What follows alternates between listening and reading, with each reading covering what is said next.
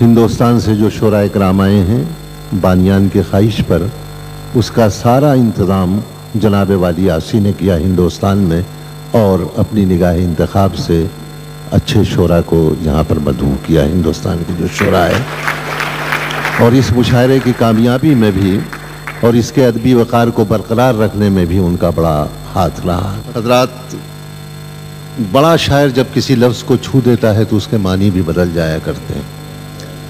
मीर ने एक शेर कहा था कि पैदा कहाँ हैं ऐसे परागंदा तबा लोग? ये परागंदा तबा, पैदा कहाँ हैं ऐसे परागंदा तबा लोग? अफसोस, तुमको मीर से सोबत नहीं रही। हम लोग अपने को खुशकिस्मत तस्वुर करते हैं।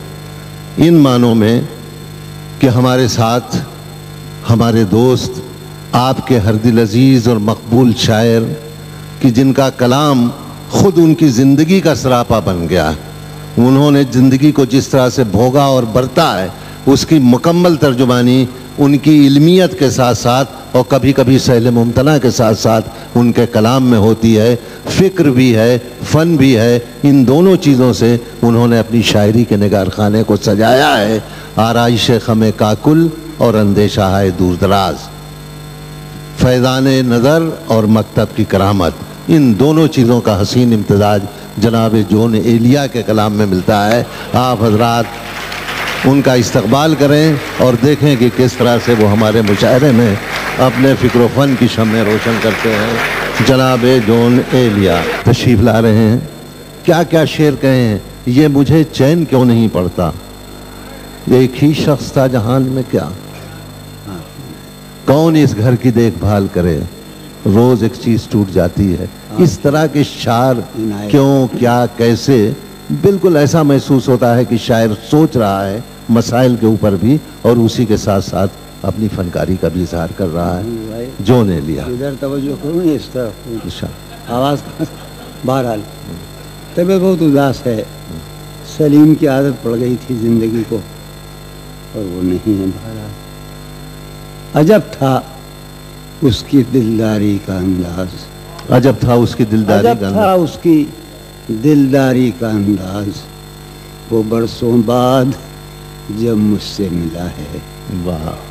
अजब था उसकी, उसकी दिलदारी का अंदाज। वो बरसों बाद जब वो बरसों बाद जब मुझसे मिला है। भला मैं पूछता उससे तो कैसे? भला मैं पूछता पूछता उससे- उससे तो कैसे? मताए जहाँ तुम्हारा नाम क्या है? वाह वाह वाह अजब था उसकी दिलदारी का अंदाज। वाह। वो बरसों बाद जब मुझसे मिला है वाह। भला मैं पूछता उससे तो कैसे? मताए जहाँ तुम्हारा नाम क्या है? वाह। अर्ज़ करता हूँ। कितने ऐश से रहते होंगे? कितने ऐश से रहते होंगे? कितने इतराते होंगे? कितने ऐश से रहते कितने ऐश से रहते होंगे? कितने इतराते हो कितने इतराते होंगे?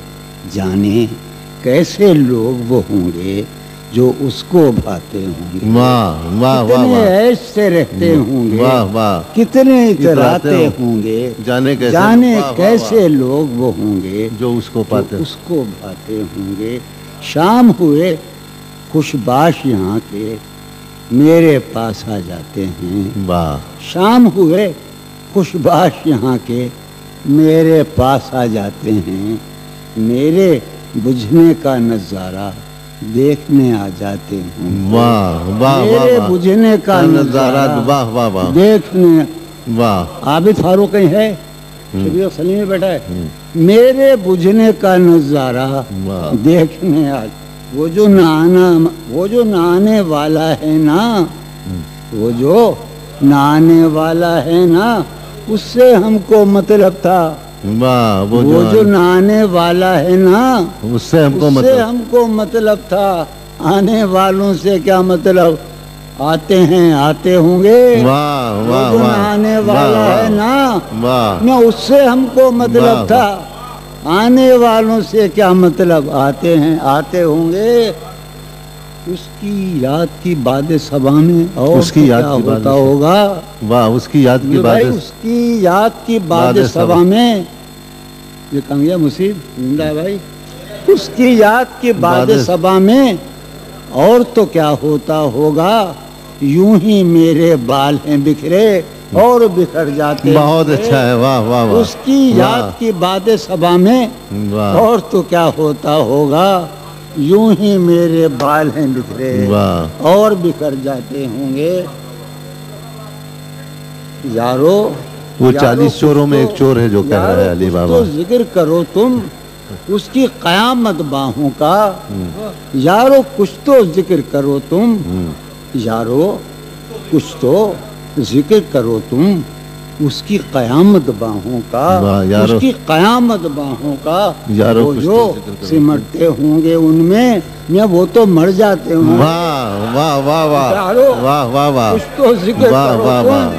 उसकी क्या कयामत बाहों का। वो जो सिमटते होंगे उनमें वो तो मर जाते होंगे मर जाते होंगे। वाह वाह। ताली हो हाँ हाँ हाँ हो ऐसे आप फोड़पन क्या यार हाँ। मौसम अक्टूबर का और कैफियत है जहाँ दिसंबर और जनवरी की ऐसी हद हो गई यार हाँ। तो है हाँ, कुछ खता सुना दीजिए जोन भाई कुछ खता तो फिर गजलें हाँ भाई मंजू साहब खत फरमा रहे हैं हाँ कि जरा लाउड स्पीकर नीचे कर लीजिए। हाँ तेरे लिबास किसी लिबास की खुशबू। किसी लिबास की खुशबू। जब उड़ के आती है। जब उड़ के आती है। किसी लिबास की खुशबू। तेरे बदन की जुदाई बहुत सता वाह किसी लिबास की खुशबू। जब उड़ के आती जब है। उड़ के आती है। तेरे बदन की जुदाई बहुत की सताती जुदाई बहुत सताती है। वाह। तेरे गुलाब तरसते हैं तेरी खुशबू को। तेरे गुलाब तरसते हैं तेरी खुशबू को। वो तेरी सफ़ेद चमेली तुझे बुलाती है। वाह वाह तेरी सफ़ेद चमेली। वाह। तूने कोई बंदोबस्त किया नहीं ज़िंदगी का बंदा।